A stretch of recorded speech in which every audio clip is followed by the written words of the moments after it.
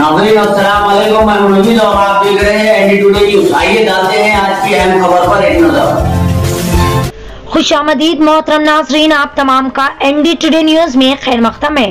Breaking news नाजरीन, मेहदीपट्टनम में वाक़ किंग्स दरबार होटल में एक खौफनाक हादसा पेश आया, जहाँ पर होटल में पाए जाने वाले चार सिलेंडर्स ब्लास्ट हो गए। राहत की बात तो यह है कि इस हादसे में कोई जानी नुकसान नहीं हुआ, लेकिन काफ़ी ज़्यादा माली नुकसान की इतला मिल रही है।